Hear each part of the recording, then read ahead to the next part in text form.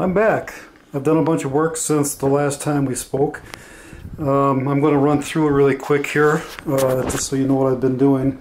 It's uh, before this is all put together. It's, it's really important that it's uh, staged properly, so we can get the screws in and everything, get get access to everything, and um, get it wired up okay. Because uh, if I put this together, I'm not going to be able to get to a bunch of stuff I need to.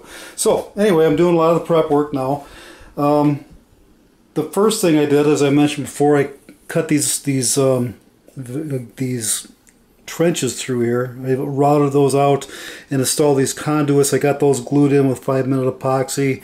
I've got the ear motors mounted, as you can see now. I just got them hot glued in. There's really no need to glue those in. Hot glue, you can take them out again later on. Um, so I ran the wires in because once this gear is in place and everything's together, there's no way to get down into there to thread that through unless you take it all apart again. So I also mounted a disc, I took that piece of um, acrylic that Greg had mounted on there and uh, you can see the old the old holes and I mounted this new uh, D um, clamping hub. It's um, set screw that's what it is. It's it's a set screw to go onto a D shaft. So it's mounted on there and uh, that'll give me a more secure um, tighter clamp down to the motor uh, shaft that I want. A little bit of um, uh, Loctite on those threads on that on that set screw and it'll never come out. So, um, not that Craig's deal is, is bad, but uh, I just want this to be last to last forever. I don't want any kind of trouble for from this thing. So anyway, um, we get that. The hardest part was getting that thing centered. So uh, that took a little bit of time uh, just to make sure I was right. So what else I did? Um, I permanently mounted, I, I took the um, Lazy Susan out of the here after I got the got the uh, elevation right and I permanently mounted on the top of the um, collar. So that's the proper way to do this so we can get to the access holes um, that I, to, to, drop these screws in here to attach to there. So basically, I, I think you can see right here I drilled another hole. It's an access hole so I can get to those screws. So when I put this together, I'll do it just like this. I'll drop the screws down and they'll mate up with these and uh, I can tighten each one down as I go around. You can see how that works. So what else I did, the last thing I did is I needed to get this done before I put it together, was to uh, mount the motor. And this is the motor I said that's got the encoder on the end. It's a nice uh, planetary gear motor. And uh, this is a clamp that, that I got from ServoCity that, that holds it. And the way I've got it um, mounted, because it kind of, the way this thing was cut and the, where the gears line up, I had to um, bump it out so it was kind of floating out into the, um, it was kind of floating out into the middle and not hitting all the plastic. So I got this little washer right here. And that's a steel washer. It clamps up. It clamps back here through the through the plastic and then up in here I got a couple spacers to keep it apart properly and it's all nice and tight and rigid. It's not going anywhere. Then, uh, then I went ahead and um, put these connectors on it for uh, plugging in later into the, um, the kangaroo and the Sabertooth, which I'm going to have mounted up here. So it somehow is going to go up in here somewhere. So there's the kangaroo. That's where the encoder is going to be going into. Right uh, on this channel here, I believe, or the bottom channel. I'm not sure which one I'm going to choose. And the motor power comes, the control power comes out, and the electric feed goes in. So actually the electric feed goes in the center and the top two is for the top channel. The bottom two is, feed out to the motor for the bottom channel. So this will go out to the motor on the collar. So as simple as that. Um, I've got them. I've got them separated uh, for the the encoder side and the power into the motor. So I'm going to uh, now. I'm going to take and put this gear. On the Lazy Susan. And I need to before I do anything I needed to make sure that D flat side there uh, of that motor shaft is pointing out so I can get at the set screw. Because this planetary gear will not let you turn this by hand. So what I'm going to do now is you can see it's a little bit off off mesh. I'm going to raise it up to the proper level and get underneath there with a set screw and uh, tighten it down and that'll give me my proper elevation for that. And I think uh, then, after I'm done, I'll be able to put it together.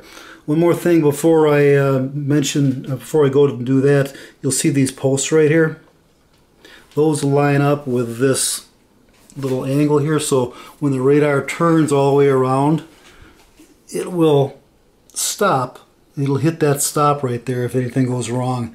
Also, that's my mechanical stops that I'm going to have to have for the Kangaroo that we talked about. That uh, that thing needs to know where the endpoints are, and there's three ways to teach this where those endpoints are. One is with limit switches, which I'm not going to do because there's just more wiring going up that I don't want to deal with. It's or you could teach it by turning it by hand uh, which I can't do because, again, the planetary gears won't let you turn. So the, the third way you can set this up is you can set it up to teach it with mechanical stops. So, and it goes around slowly until it bumps, until something stops it, and that's what's going to stop it. Then it'll know where that endpoint is. Then it'll go back around by itself and auto tune and hit that stop with this and then the Kangaroo will finish up its its auto tune and it'll know right where the endpoints are and the speeds and how to control that motor. So um, now I'm going to set this camera up on a tripod and uh, you can watch me put this thing together okay? I'll be right back. Okay I've got the I've got the camera on a tripod and I am ready to start. I'm going to start by putting a little drop of blue Loctite. This is the medium hold. I'll get it. I'll be able to get it out if I want to. Right on this uh, little set screw. Don't need a lot, just a touch. Now don't get this stuff on the any acrylics. Don't use it on acrylics because it'll craze and crack. You're just on metal to metal, okay? So now remember I have my D uh, flat part pointing out so I can get at it just fine. Run the set screw in. A little bit so it should just hopefully fall on there.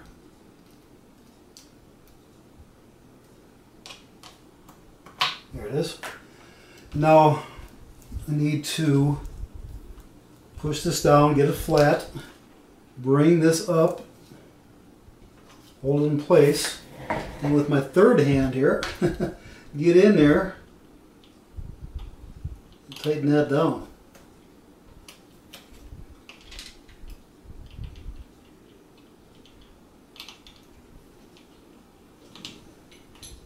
Just easier said than done. Okay, make sure I'm flat, a little torque on it.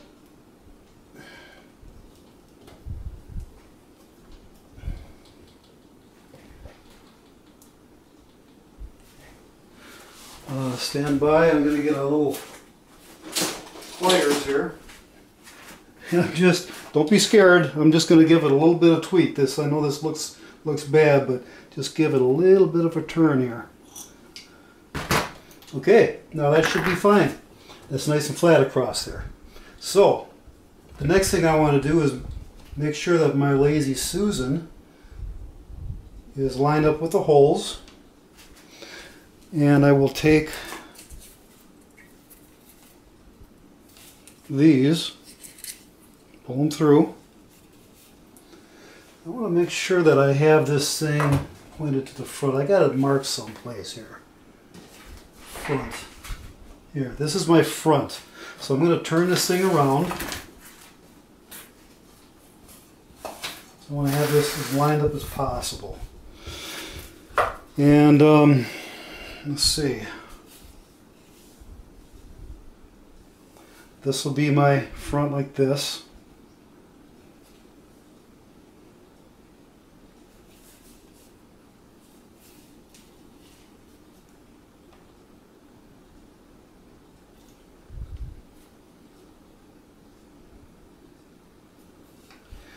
And I should be able to just drop that on there.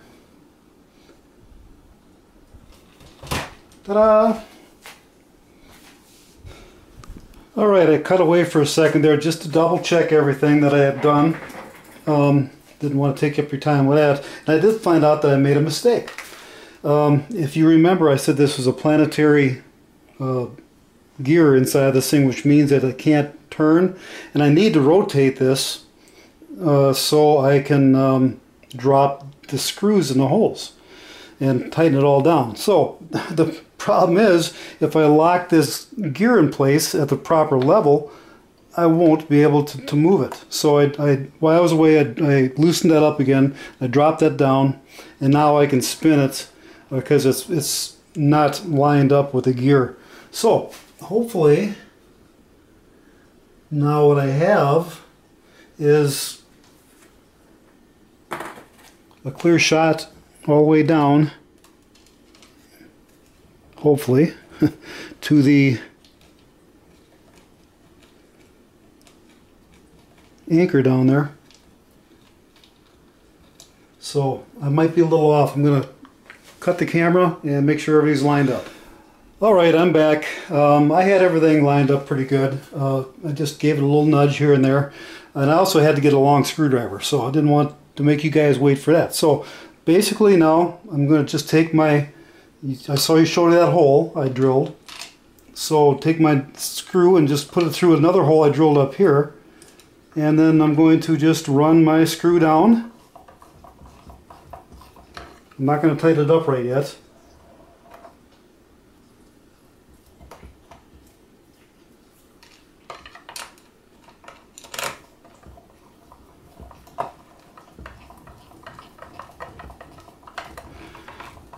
Okay, don't tighten it up.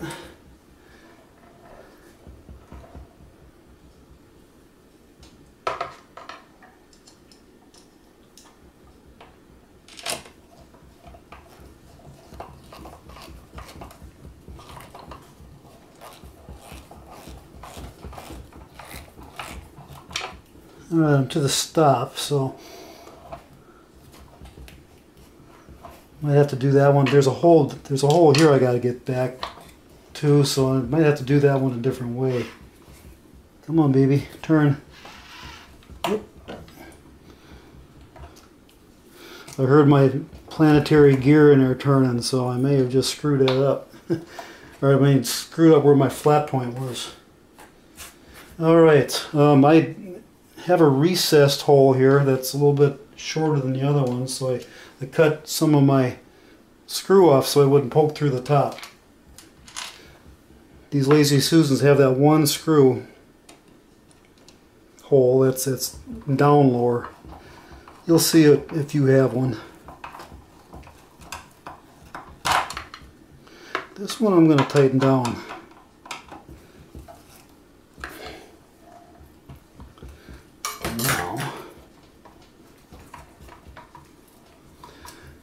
Yeah, here I have an issue here where there's that stop right there and here's the hole. So I'm going to have to um, figure out what to do with that. I think I might have to take this the stop off here so I can get closer. So I will uh, I will be back when I have all this back together. Okay, what I'm going to do is I'm going to remove that little L-shaped bracket down there that you see that I would use for the stop.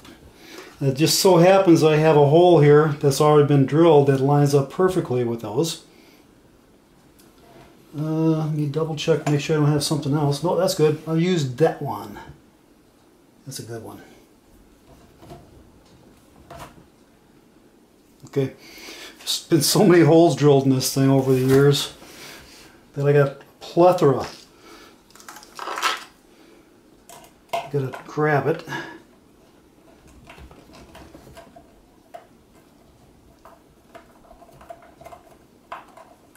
Feel like a dentist. Ta-da! There's one.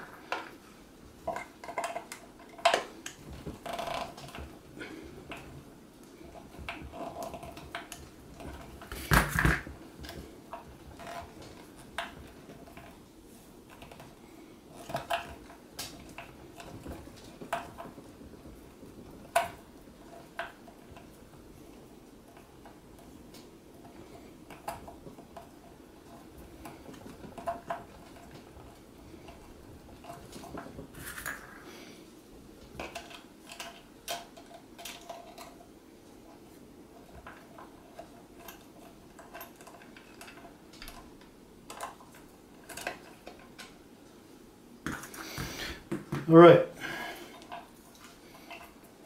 Got it out.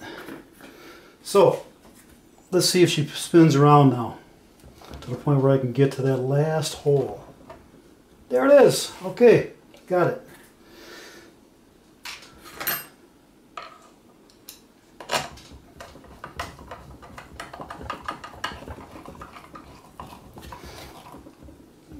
All right, I'm going to go back around now and make sure everything's tight.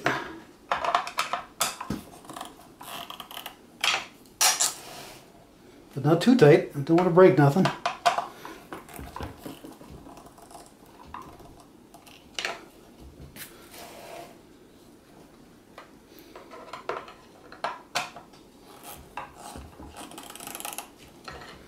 All right, I think I got everything. Nope, I got one more to do.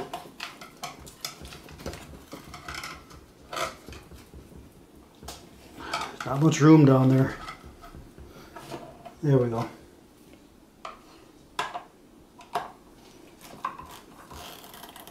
Okay. I think I have another one to do here. Just double check this one here.